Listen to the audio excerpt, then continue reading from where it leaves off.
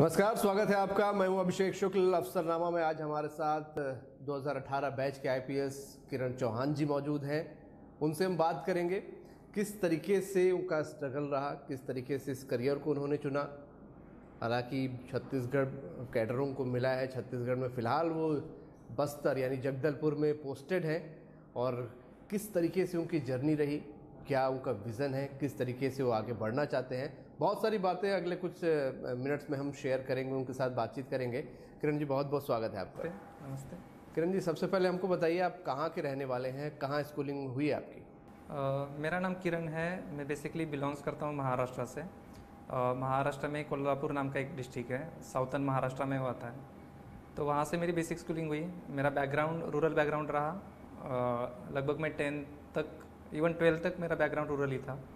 Tenth के बाद मैंने साइंस में एलेवन ट्वेल्थ कंप्लीट किया। उसके बाद मैं पुणे में चला गया। पुणे में मेरा मैकेनिकल इंजीनियरिंग कंप्लीट हुआ। तो पुणे में मुझे बहुत सारा एक्सपोजर मिला। सिटी बैकग्राउंड था काफ़ी अच्छा। और तभी भी मुझे यूपीएससी एग्ज़ाम के बारे में पता चला। रूरल बैकग्राउंड आप बता रहे हैं। तो रूरल बैकग्राउंड क्या आगे बढ़ने में किसी प्रकार की कोई दिक्कतें पैदा नहीं करता? क्योंकि आप वहाँ से जब पुणे गए होंगे तो एक ग्रामीण परिवेश से निकल कर तो पर्सनैलिटी में भी शायद कुछ फ़र्क पड़ता है क्या? आपको वहाँ जब इंजीनियरिंग कॉलेज में पहुँचे होंगे तो बाकी के लोगों से बड़े बड़े कई शहरों के लोग के बीच अपने आप को किस तरीके से एडजस्ट कर पा रहे थे आप? मैं ऑफकोर्स कहूँगा कि इससे पर्सनैलिटी में फ़र्क पड़ता है। रूरल बैकग्राउंड कुछ आपको अलग बातें सिखाता है और सिटी बैकग्राउंड कुछ अलग बातें सिखाता है।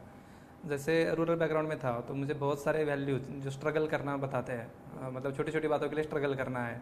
लाइफ में, जैसे स्कूल के लिए जा रहे हैं तो वहाँ मतलब जल्दी आपको बसेस अवेलेबल नहीं हो रही है।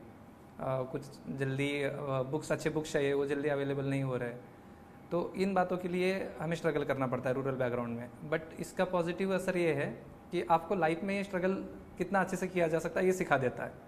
एंड ऑफकोर्स जैसे आपने बताया सिटी बैकग्राउंड जैसे मैं पुणे में चला गया सिटी बैकग्राउंड आपको बहुत सारा बड़ा एक्सपोजर देता है। चीज़ें किस तरह से देखी जाती है प्रोग्रेस क्या होता है डेवलपमेंट क्या होता है रिसोर्सेज क्या होते हैं अच्छे रिसोर्सेज माना जाता है। और पुणे जैसी एजुकेशनल हब जो सिटी है वहाँ मुझे पढ़ने का मौका मिला और वो एक टर्निंग पॉइंट था मेरे लाइफ में।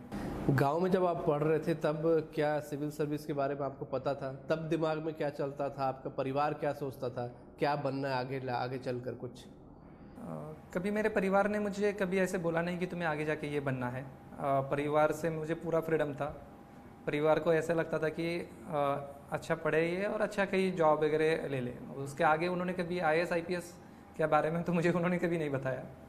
अ, मैं टेंथ में था तो मुझे एक टेंथ में एक स्कॉलरशिप मिली थी। फिफ्टीन डेज़ के लिए मुझे जाने का मौका मिला था कोकण में। तो वहाँ एक टीचर ने मुझे बताया कि ऐसे एग्ज़ाम्स होते हैं I S I P S जिससे कलेक्टर एस पी बना जा सकता है। काफ़ी डिफ़िकल्ट होती है एग्ज़ाम बहुत पढ़ाई करनी पड़ती है पंद्रह बीस घंटे ऐसे ऐसे बताया था। तो मेरी क्यूरियोसिटी तब जागरूक हो चुकी थी और मैंने पूछा भी सर को, सर, ये कैसे होता है? मैं रिटर्न आया मेरे स्कूल में। मेरे स्कूल में मैंने मैडम से पूछा कि क्या होता है एग्ज़ाम वगैरह। तो मैडम ने भी मुझे बताया कि ग्रेजुएशन के बाद एग्ज़ाम दिया जाता है। डिफ़िकल्ट एग्ज़ाम होता है काफ़ी और बहुत कम लोग बन पाते हैं। तो मेरे मन में ये कहीं ना कहीं चल रहा था। उसके बाद जैसे मैंने बताया, पुणे में मुझे एक्सपोजर मिला इंजीनियरिंग में कर रहा था। बट फॉर्चुनेटली uh, मैं जहाँ रह रहा था वो वहाँ सभी लोग इसका ही प्रिपरेशन करते थे M P S C means Maharashtra public service commission and union public service commission तो उनको देख के मुझे ऐसा लगता था कि अरे यार कितने पढ़ाई कर रहे हैं अच्छे ऑफिसर्स बन रहे हैं। हम भी क्यों नहीं बने ऑफिसर्स वगैरह? तो जनरली थर्ड ईयर था तो थर्ड ईयर में मैंने डिसाइड कर लिया कि मैं आगे जाके अ, मुझे यूपीएससी देना है। इवन मुझे प्लेसमेंट भी मिला था टीसीएस में तो मैंने ज्वाइन नहीं किया। प्लेस तो डायरेक्टली जैसे मेरा ग्रेजुएशन कंप्लीट हो गया, मैं एग्ज़ाम की तरफ़ प्रिपरेशन स्टार्ट कर दिया। मैं जब आप पुणे पहुँचे वहाँ पर तो क्या आपके दिमाग में चलता था? क्योंकि ग्रामीण परिवेश से आप आए थे, और भी बहुत से लोग वहाँ पर रहे होंगे। मैं पर्सनालिटी के लेवल पे जानना चाह रहा हूँ कि क्या आपको लगता था कि नहीं, मेरी पर्सनालिटी बाकियों से थोड़ी, क्योंकि मैं ग्रामीण परिवेश से हूँ कहीं दबा हूँ, या कुछ संकुचित सा हूँ, हर चीज़ में थोड़ा सा संकोच करता हूँ। क्या ऐसा अंतर आपको लगता है? ऐसा कुछ हुआ? It all's about mental confidence आपका कितना कॉन्फिडेंस है? अब हमने यदि खुद को ऐसे मानना स्टार्ट कर दिया कि मैं किसी से कम हूँ तो अपने आप में दिखेगा वो कि अरे मैं कम हूँ कम हूँ। तो मैं पहले मानता ही नहीं था। मैं जब अब मैं थोड़ा सा ठंडा हो गया हूँ। अब तो 28 ईयर्स का हो गया और लगभग ट्रेनिंग हो गया मेरा। But when I was twenty twenty one तो मेरे में बहुत अभी भी एनर्जी है बट तब बहुत ज़्यादा थी। और मैं जब इंजीनियरिंग कॉलेज में जहाँ पढ़ रहा था तो पूरे कॉन्फिडेंस के साथ पढ़ाई करता था मैं। I was topper there also I think हाँ second third topper in many people fail हो जाते थे। वैसे सब्जेक्ट में मैं टॉप करता था। वैसे लास्ट के फिफ्टीन डेज़ ट्वेंटी डेज़ में। तो वो कॉन्फिडेंस मेरा हमेशा बना रहा। मतलब यदि मैंने डिसाइड किया कि यूपीएससी मुझे करना है मैंने इंजीनियरिंग को कभी ये नहीं किया उसको छोड़ा नहीं। तो वहाँ भी मैंने अच्छे से पढ़ाई करके अच्छे मार्क्स लाए और ख़ुद को इस्टेब्लिश किया। और उसके साथ में अदर एक्टिविटीज़ में पार्टिसिपेट करता था हमेशा। एनएसएस हो गया। तो लोगों को मैं दिखता था। तो कभी मुझे ऐसा महसूस नहीं हुआ कि मैं किसी से कम कम हूँ। मुझे हमेशा ऐसे ही महसूस होता कि आई एम समथिंग डिफरेंट तो मुझे लगता है कि हर व्यक्ति को ये होना चाहिए कि मेरे पास कुछ ना कुछ अलग है, वो पढ़ाई ही रहने दो, नहीं तो कुछ अलग रह सकता है, कोई डांसिंग में, कोई किसी और एक्टिविटीज़ में हो सकता है। बट खुद का कुछ अलग करके कॉन्फिडेंस हमेशा confidence is the key for any success I think TCS आपने ज्वाइन नहीं किया, आपने कहा, और यूपीएससी की प्रिपरेशन में लग गए। तो आपके अंदर कॉन्फिडेंस निश्चित रूप से रहा होगा कि मैं इस को क्रैक कर लूँगा। और भी बाकी लोगों के लिए बहुत से स्टूडेंट्स होते हैं सिर्फ़ यूपीएससी नहीं, दूसरे किसी भी कंपटीशन एग्ज़ाम या दूसरी चीज़ में जाने के लिए आपको क्या लगता है कि क्या ज़रूरी होता है, क्या अपना पोटेंशियल जांचना ज़रूरी होता है, या और कुछ क्या क्या दिमाग में चलना चाहिए, कैसे अपने आप को परखें? क्योंकि कई बार लोग सोचते रह जाते हैं और कि नहीं, बहुत टफ पढ़ाई है, एक इमेज जैसा आपने कहा बनी रहती है कि बहुत पढ़ना पड़ता है हम नहीं कर पाएँगे। किस तरीके की अपनी जाँच पड़ताल, अपना पोटेंशियल जांचते हैं? ये जो ग्रेजुएशन का पीरियड होता है, वो बहुत क्रुशियल होता है डिसाइड करने के लिए कि मुझे आगे क्या बनना है जाके। और इसी में डिसाइड कर लेना चाहिए कि, सोच लेना चाहिए कि मुझे आगे क्या करना है। तो उसके लिए खुद को देखना पड़ेगा कि मेरा इंटरेस्ट कहाँ है। जैसे मैंने खुद का जज किया एनालाइज किया, अरे मेरा इंटरेस्ट सिविल सर्विस एग्जामिनेशन है तो ये मुझे एग्ज़ाम देनी है। तो अब एग्ज़ाम नहीं तो कौन सा भी फ़ील्ड डिफ़िकल्ट होता है। हर कोई फ़ील्ड डिफ़िकल्ट होता है। कोई सिंपल नहीं बिज़नेस करना है तो वहाँ भी डिफ़िकल्टीज आती है आपको। कैट uh, देनी है वहाँ भी डिफ़िकल्टीज़ है। मेडिकल uh, सेक्टर में जाना है वहाँ भी डिफ़िकल्टीज़ है और आईआईटी क्रैक करना है वो भी डिफ़िकल्ट है। सिंपल तो कुछ नहीं है। तो आपको कुछ अच्छा करना है तो आपको जज करना पड़ेगा कि मेरा पोटेंशियल क्या है। ये मैं कर सकता हूँ और अंदर की आ, आवाज़ रहती है। एक आवाज़ कहती रहती है कि भाई तू कर सकता है ये। तो उस आवाज़ को सुनिए पहले और उस आवाज़ पे बिलीव कीजिए कॉन्फिडेंट रहिए। और एज का बेनिफिट लीजिए इसमें। क्या होता है कि आप जब ट्वेंटी ट्वेंटी वन के होते हो तो अब आपको कोई पूछने वाला नहीं होता है कि तुम फेल हो रहे हो, तुम पास हो रहे हो, तुम करियर में क्या कर रहे हो। घर वाले नहीं पूछते, सोसाइटी नहीं पूछता आपको। तो उसका एडवांटेज लीजिए। तीन थ्री फोर ईयर्स आपके पास है। आपको लगता है आपने कैपेबिलिटी है। तो जैसे मैंने टीसीएस मुझे प्लेसमेंट मिला था। तो मैंने घर वालों को बोल दिया कि मुझे ज्वाइन नहीं करना है। मुझे दो, तीन साल दीजिए, मैं ये एग्ज़ाम दूँगा। यदि नहीं होता है तो मैं प्लान भी कुछ दूसरा कुछ कर लूँगा। लेकिन मुझे देना है दो तीन साल। तो ये ये एटीट्यूड होना चाहिए कि ठीक है तीन साल में मेरे इन्वेस्ट कर सकता हूँ। I am ready to accept failure also but मैं सक्सेस हो गया। मेरा एम तो मैंने अचीव कर लिया। तो इसी एटीट्यूड से आपको जाना है। लेकिन आपने पहले से ही डिफेंसिव खेलना स्टार्ट कर दिया। अरे मेरा नहीं हुआ तो क्या करूँ मैं? ये जॉब नहीं छोड़ूँ। ऐसा नहीं करना है। आप वहाँ रिस्क लीजिए। तीन साल आप इजीली दे सकते हो लाइफ के उसमें। और इसका बेनिफिट ये रहेगा यदि नहीं भी होता है तो आपको इतनी चीज़ें सीखने को मिलेगी कि आप कभी रिग्रेट नहीं करोगे कि मेरा नहीं होगा तो आई विल से कि इस एग्ज़ाम के लिए एक अच्छी सोच की तरह से जाना चाहिए कि मेरा होगा सिलेक्शन यदि आपकी अंतरात्मा की आवाज़ कहती है। तो आपको कितना समय लगा जब आपने तैयारी चालू की? तो फ़र्स्ट अटैम्प्ट सेकेंड या कितने अटैम्प्ट आपको करने पड़े? किस तरीके से आपने ये क्रैक किया यहाँ तक पहुँचे? जैसे मैंने बताया 2015 में मेरा ग्रेजुएशन कंप्लीट हो गया। उसके बाद मैंने सीधा प्रिपरेशन स्टार्ट किया। तो आ, मैंने एक्चुअली कई क्लासेस वगैरह नहीं ज्वाइन किए थे। मैं खुद प्रिपरेशन कर रहा था और मैंने उस साल का फॉर्म फिलअप किया। दो ढाई महीने थे मेरे पास। दो महीने मैंने अच्छे से पढ़ाई की और प्रीलिम मैंने दे दिया। Fortunately I clear the prelim mains भी ऐसे ही मतलब अब तीन महीना टाइम बचा है तीन महीने में करना है। तो इधर उधर से बुक्स वगैरह पूछे मैंने लोगों को। और उसका भी पढ़ाई फॉर्चुनेटली मेंस भी मेरा क्लियर हो गया। इंटरव्यू तो इंटरव्यू में भी मेरा वही एटीट्यूड बट वहाँ मेरा वो काम नहीं कर पाया एटीट्यूड तो मेरा मैं इंटरव्यू तक गया और मेरा सिलेक्शन नहीं हुआ। तो बट मैं फ़र्स्ट अटैम्प था। फ़र्स्ट अटैम्प में मैं इंटरव्यू तक गया। तो मुझे पता चल गया कि आज न कल मैं इस एग्ज़ाम को क्रैक करूँगा। क्या हुआ था इंटरव्यू कुछ याद आता है कि आपको लगता है कहाँ चूक गए थे आप? आ, वही मतलब ओवर कॉन्फिडेंस बोल सकते हैं। तो बच्चे जैसा था। Just pass out from the engineering college I faring for the interview not understanding what they want from me तो इस ऐसी चीज़ें छोटी छोटी गलतियाँ कि मेरा पर्सपेक्टिव कैसा था कि भाई मैं जो बोल रहा हूँ वो सही है। बट बोर्ड का जो पर्सपेक्टिव था वो काफ़ी वाइडर था। uh, जैसे उन्होंने मुझे क्वेश्चन पूछा था कि शिवाजी महाराज क्यों फ़ेमस है? तो मैंने फोकस किया कि लड़ाई ये हो। बट मैं आज देखता हूँ तो शिवाजी महाराज उसके लिए फ़ेमस नहीं थे। शिवाजी महाराज उन्होंने लोगों के प्रति जो काम किया वहाँ लोगों के प्रति स्वाभिमान डेवलप किया किसानों के लिए काम किया। हाँ तो लोगों का जो दुख कम करने का काम किया उसके लिए वो फ़ेमस थे। तो ये वो वाइडर पर्सपेक्टिव था। तब मैं नहीं दे पाया। बट जैसे जैसे मैंने आगे इंटरव्यू दिए तब मैंने इसको करेक्ट किया। तो फिर ये कैसे इंटरव्यू में आप पास नहीं हो पाए? फिर अगला अटेम्प्ट हाँ तो नेक्स्ट अटेम्प्ट ऐसा फ़र्स्ट अटेम्प्ट मुझे इसलिए बुरा नहीं लगा कि फेल हो गया फ़र्स्ट अटेम्प्ट में इंटरव्यू तक आया हूँ अच्छी बात है। आज नकल हो जाएगा मेरा। But second attempt real eye opening था मेरे लिए। मैंने मेंस मेरा क्लियर नहीं हो पाया उस समय। अच्छा। हाँ तो इट वॉ मतलब तब मुझे थोड़ा सा लगा कि अरे एग्ज़ाम क्या है। मतलब जो बोलते हैं कि भाई मैं इंटरव्यू तक गया लास्ट ईयर इस साल मेरा मेंस क्लियर नहीं हुआ है। फिर भी मैं बुरा लगा मुझे लेकिन दूसरे दिन सुबह में छः बजे उठ के लाइब्रेरी में पढ़ाई करने के लिए चला गया। नहीं देना डिप्रेशन जैसी कोई चीज़ नहीं हुई कि फेल हो गया अब कैसे मतलब नहीं वही तो इंटरव्यू तक पहुँच गया हाँ वही तो है ना। That is the crux of this whole exam आप फेल हो गए हो तो आपको उठना पड़ेगा फिर से। आपको देखना पड़ेगा कि मेरी गलती कहाँ हुई है। हाँ तो उस गलती को एनालाइज करके फिर से आपको काम करने के लिए आपको जाना पड़ेगा फिर सुबह। तो मैं उस दिन मुझे बुरा लगा बहुत लेकिन मैं सुबह छः उठ के मेरे सर थे जो मुझे गाइडेंस करते थे उनसे बात करके मैं छः बजे पढ़ाई करने के लिए लग गया फिर से। और वो तीसरा अटेम्प्ट आपने निकाला हाँ तीसरा अटेम्प्ट में मेरा फिर मुझे आई मिल गया 2017 एग्ज़ाम और आईपीएस मिलने के बाद छत्तीसगढ़ कैडर हाँ, मिला। तो छत्तीसगढ़ के बारे में क्योंकि जब छत्तीसगढ़ कैडर मिला तो क्या दिमाग में चल रहा था? क्योंकि मैंने बहुत से जैसे इंटरव्यूज़ किए हैं छत्तीसगढ़ को लेके एक नक्सल वाली इमेज हुआ करती थी लोगों के दिमाग में। आपके दिमाग में क्या चल रहा था? आपकी फैमिली के दिमाग में क्या चल रहा था? जैसे कॉमन पीपल सोचते हैं, छत्तीसगढ़ से बाहर रह के, वैसे ही मैं सोचा करता था, अरे छत्तीसगढ़ मिला है, वहाँ की नक्सल समस्या क्या रहेगी, ये, वो। पहले तो डर लगा रहता था कि अरे छत्तीसगढ़ कैसा होगा। थोड़ा सा बुरा लगा था फ्रैंकली कि अरे छत्तीसगढ़ मिला है, नक्सल समस्या वगैरह। बट जैसे ही चीज़ें बाहर पता चलने लगी, अरे छत्तीसगढ़ तो अच्छा है, और वहाँ जो चैलेंजेस है वही अपॉर्चुनिटी है। मतलब आप ऐसी जगह जा रहे हो, जो इंडिया का बिगेस्ट इंटरनल सिक्योरिटी प्रॉब्लम है, आप कुछ कंट्रीब्यूट कर सकते हो सोसाइटी को, समाज को। वहाँ लोगों को ज़रूरत है प्रशासन की पुलिस की। तो ये मैंने फिर ऐसे देखना स्टार्ट कर दिया इस प्रॉब्लम को। और जब मैं यहाँ मेरे प्रोफेशनल पीरियड के लिए आया बिलासपुर में आया, और मेरा बस्तर दर्शन भी हुआ, दंतेवाड़ा गया, मैं सुकमा गया, बीजापुर गया तो लगा कि अरे ठीक है कितना अच्छा है ये जगह इतना भी कोई ये नहीं है और इस यहाँ अच्छे से काम कर सकते हैं। अब मेरी पोस्टिंग ही जगदलपुर में है और ये कि हाँ यहाँ इतने अच्छे लोग हैं इतनी अच्छी सिटी है।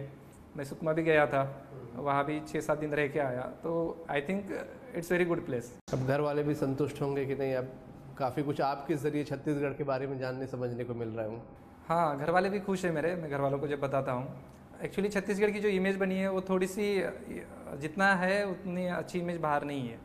तो शायद मुझे लगता है कि लोगों को हमें इनक्रेज करना चाहिए कि आके छत्तीसगढ़ देखिए कितना अच्छा है। जो आ जाता है उसकी उसके मन में इमेज बदल जाती है छत्तीसगढ़ हाँ। छत्तीसगढ़ आने के बाद क्या आपको सबसे अच्छा लगा है? मुझे यहाँ का कल्चर अच्छा लगा है क्योंकि unlike any other states Chhattisgarh की जो डाइवर्सिटी है वो बहुत काफ़ी वरीड और रीच है।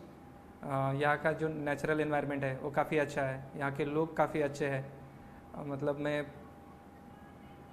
चीज़ें को बहुत अच्छी तरह से समझ पाते हैं डिसेंट है सिविलाइज है। तो ये चीज़ मुझे बहुत अच्छी लगी। जगदलपुर में आप मौजूद हैं, बस्तर के एरिया में, और जैसा आपने कहा कि बिगेस्ट इंटरनल सिक्योरिटी यहाँ प्रॉब्लम्स रहती हैं। आपकी समझ क्या कहती है? आपको क्या लगता है कि इस समस्या का समाधान किस तरीके से किया जा सकता है? जैसे शासन इस पे काम कर रही है एक सिक्योरिटी रिलेटेड फ्रंट है जहाँ हम हमारी सिक्योरिटी फोर्सेस एंगेज करती है Naxalites. That is a very much important second development front वहाँ हम रास्ते ओपन कर रहे हैं एजुकेशन हेल्थ फैसिलिटीज़ अवेलेबल करके दे रहे हैं बेसिक बेसिक पैसा एक्ट हो गया लैंड राइट्स हो गए। तो ये इंपॉर्टेंट है उसके साथ winning the hearts and mind लोगों में अ, कि क्या इंपॉर्टेंट है कौन सा रास्ता सही है? जो इंडियन कॉन्स्टिट्यूशन का रास्ता जो सही है तो लोगों को आकर्षित करे यूथ को जोड़े। हम main stream Chhattisgarh main stream India तो ये तीनों फ्रंट पे काम अच्छे से हो रहा है और मुझे लगता है कि आने वाले कुछ सालों में ये जो समस्या है, वो कम हो जाएगी। बस्तर की हम बात करते हैं, अब तो बाहर से भी काफ़ी लोग आ रहे हैं और देश, दुनिया सब जगह से टूरिज़्म से लेकर हर जगह के दरवाजे खोल रहे हैं यहाँ पर। आपको लगता है कि यहाँ का प्राकृतिक सौंदर्य एक इमेज बदलने में बहुत बड़ा रोल निभा सकता है? हाँ ऑफकोर्स मतलब बस्तर में इतना टूरिज़्म का पोटेंशियल है शायद किसी स्टेट के पास इतना नहीं रहेगा। It's like Kerala situated in middle somewhere Bastar तो काफ़ी अच्छा है। तो इसका अवेयरनेस बाहर होना चाहिए कि ये कल्चर स्पेशली यहाँ की डिफरेंट डिफरेंट ट्राइब्स है उनका जो संस्कृति है वो इंडिया में नहीं फॉरेन में लोगों को पता चलना चाहिए। यहाँ रिसर्च के लिए लोग पहले भी आते थे। उनको इनक्रेज करना चाहिए कि आप फिर से आइए। बुक्स लिखिए उन पर टीवी प्रोग्राम्स कंडक्ट कीजिए।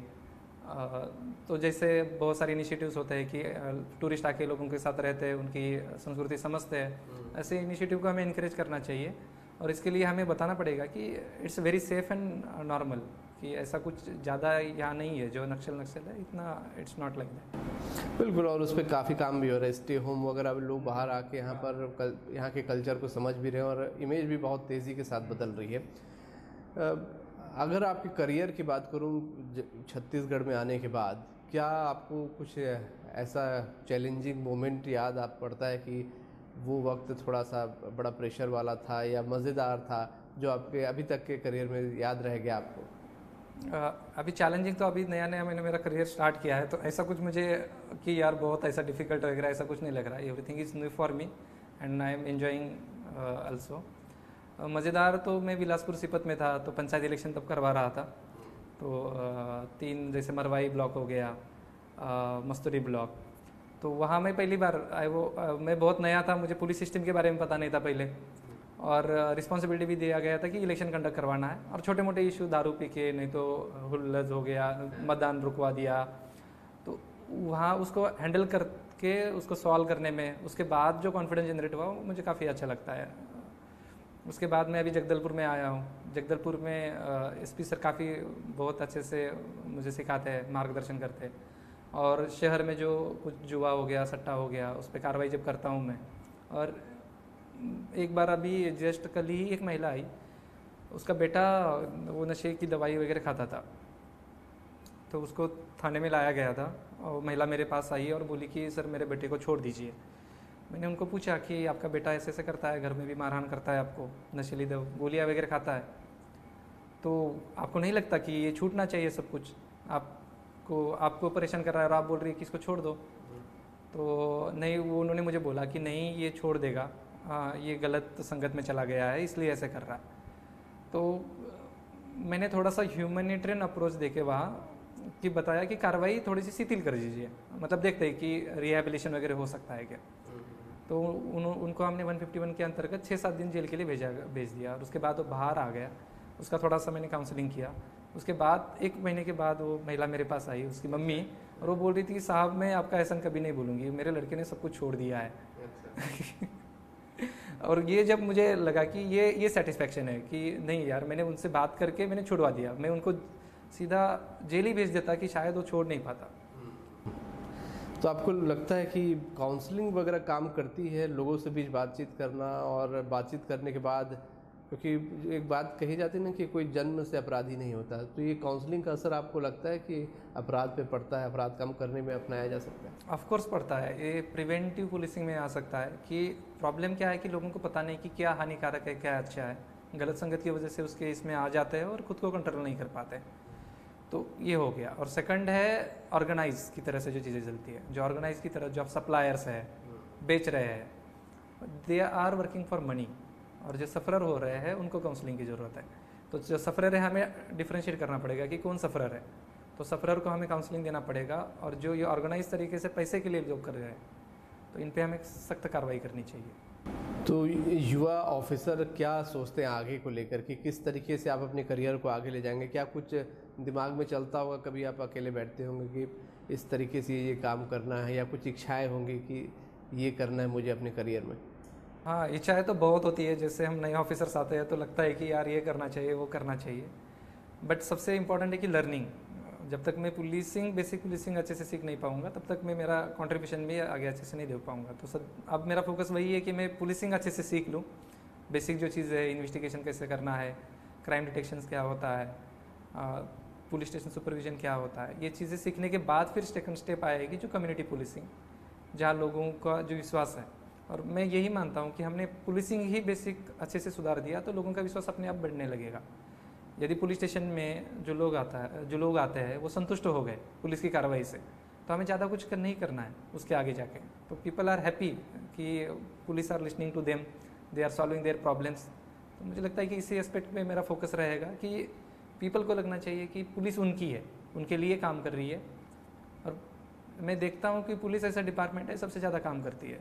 और ट्वेंटी फोर इंटू सेवन जो बोलते हैं, वो सही में, दिवाली हो गया वीआईपी मीटिंग्स हो गई कुछ भी छोटा मोटा होता है हमेशा वहाँ पुलिस रहती है इन्वॉल्व रहती है। फिर भी पुलिस का जो इमेज है वो इतना अच्छा नहीं है। मतलब ये तो आयर नहीं है कि सबसे ज़्यादा काम एक डिपार्टमेंट कर रहा है और फिर भी लोगों में विश्वास नहीं है कि पुलिस हमारी। तो आने वाले जो मेरा करियर ऐसा रहेगा कि लोगों को लगना चाहिए कि नहीं ये डिपार्टमेंट है ये सबसे अच्छा काम भी करता है और अच्छा डिपार्टमेंट है और आ, समाज का सेवक है। वही मैं सवाल भी करने जा रहा था कि जब आप स्टूडेंट थे तब आपके दिमाग में पुलिस की क्या इमेज होती थी? और अब आप खुद इस डिपार्टमेंट में ऑफिसर हैं तो आपके दिमाग में अब क्या इमेज क्या डिफरेंस आया है? पहले क्या सोच रहे थे अब क्या सोच रहे हैं? जैसे बोला जाता है कि तीन यूनिफॉर्म से हमेशा बचना चाहिए। एक होता है पुलिस सेकंड होता है लॉयर और थर्ड होता है डॉक्टर इन तीन यूनिफॉर्म से हमेशा बच बचिए तो मेरे दिमाग में भी ऐसे ही थी कि इमेज अरे इनसे बची है कि पुलिस के पास नहीं जाना है। मतलब एक जो डिफरेंस वाली फीलिंग है कि हम कॉमन सिटीजन है और पुलिस कुछ अलग है। हाँ तो ये फीलिंग मेरे मन में भी थी। जैसे मैं इवन पुणे में था तो वहाँ तो पुलिस को मैंने काफ़ी करीब से देखा था थोड़ा क्योंकि हर रोज़ कुछ ना कुछ वहाँ होता रहता था। तो एक दो बार इंटरेक्शन हुआ वो इतना पॉजिटिव भी नहीं था कभी कभी मुझे लगता था कि या क्या वगैरह ऐसे। तो डर भी रहता था हमेशा कि आ, नहीं। बट मैं जैसे ही पुलिस वाला बन गया हूँ तो मेरा हमेशा फोकस मुझे अभी ऐसा लगता है कि पुलिस कितना अच्छा डिपार्टमेंट है, कितने अच्छे लोग हैं यहाँ। वो जो मेरा परसेप्शन था एज अ सिटीज़न मतलब अभी भी मैं सिटीज़न हूँ but uniform in citizen in uniform तो ये आने के बाद मुझे लगता है कि बहुत अच्छा डिपार्टमेंट है। हाँ सब अच्छे ही लोग हैं। अब एक दो लोग बुरे हैं, इसलिए पूरे डिपार्टमेंट को तो ये नहीं बोला जा सकता कि हर जगह होता है। इवन अदर डिपार्टमेंट्स में भी है सोसाइटी में भी है, और सोसाइटी में से ही लोग आते हैं। तो आपको लगता है ये इमेज तोड़ने के लिए जैसा आप तो ऑफिसर बनकर पुलिस में आ गए। आम जनता के साथ भी पुलिस की बातचीत बढ़े ये बातचीत से शायद ये इमेज टूटेगी। तो इस प्रकार का कुछ आयोजन होते रहना चाहिए ऐसा कुछ होते रहे? आ, कल ही गन्ना जो थी मैंने गन्ना थाना जो कोतवाली है गन्ना मैंने अटेंड की। तो मेरा फोकस इसी पे था कि जो मैंने बात दोहराई या हम सबसे ज़्यादा काम करते हैं। बट हमारा रिकग्नाइजेशन क्यों नहीं होता? मैंने मेरे जो स्टाफ था उन लोगों को पूछा। तो मैंने बोला इसका एक ही रीज़न है क्योंकि हमारा जो बातचीत करने का तरीका है लोगों से वो अच्छा नहीं है। तो हम इसी पे फोकस करते हैं। तो चलो आज कोई आ रहा है अपने यहाँ उसको पानी देते देते उसके उसको बैठाते ठीक से और उसको पूछते कि क्या तुम्हारी समस्या है? उसको अच्छे से रिस्पॉन्ड कर देते इतना ही हमने किया तो बहुत सारा चेंज हो जाएगा। तो मैंने कल दोनों थाने में कल मैंने कोतवाली में की मेरे जो बुधगढ़ थाना है तो वहाँ भी मैं जाके समझाना वाला हूँ। और मैं परसुएशन पे बिलीव करता हूँ ज़्यादा। कि मेरा जो स्टाफ है उनको मैं परस्यूट करूँगा। परस्यूट करने के बाद हो सकता है कि 50 परसेंट स्टाफ ने सुन लिया तो that will be the biggest contribution बिल्कुल आप जैसे युवाओं की बातचीत सुन के बहुत सारी उम्मीदें बढ़ जाती हैं कि वाकई में जो आप सोच रहे हो आने वाले दिनों में वो इमेज बदलती भी नज़र आएगी। आप वैसे तो समय अब कम मिलता होगा लेकिन खाली समय में क्या करना पसंद करते हैं? क्या हॉबीज़ हैं आपकी? uh, मुझे रनिंग अच्छा लगता है। इवन नेशनल पुलिस एकेडमी में भी काफ़ी अच्छी रनिंग थी मेरी। अच्छा। उसके बाद बैडमिंटन में खेल लेता हूँ कभी मूवीज़ वगैरह देखता हूँ म्यूज़िक मूवीज़ किस प्रकार की मूवीज़ पसंद करते हैं? जैसे मुझे मूवीज़ लाफिंग जो हेरा फेरी उस टाइप की लाइट मूवमेंट जो दे, देते हैं वो वाली मूवीज़ अच्छी लगती है। ज़्यादा सीरियस और सिंसियर मुझे अच्छी नहीं लगती। तो किरण जी आपसे बात करके बहुत अच्छा लगा और हम उम्मीद करते हैं कि आपकी जो थॉट्स है सोच है ये बहुत जल्द ज़मीन पर उतरे और पुलिस और पब्लिक जो कहा जाता है वो एक अच्छे मित्र की तरह बने और इमेज भी पुलिस की शानदार हो जाए क्योंकि सबसे ज़्यादा काम वही करती बहुत शुक्रिया हमसे बात करने के लिए। थैंक यू तो हमारे साथ युवा आईपीएस ऑफिसर किरण चौहान जी थे। बहुत शानदार सोच रखते हैं बहुत एनर्जेटिक हैं। और जिस तरीके की उनकी थॉट्स हैं कि पुलिस और पब्लिक आपस में दोस्त हों सबसे ज़्यादा काम अगर पुलिस करती है तो क्यों नहीं पुलिस की इमेज भी उतनी शार्प उतनी चमकनी चाहिए? उसी दिशा में काम भी कर रहे हैं।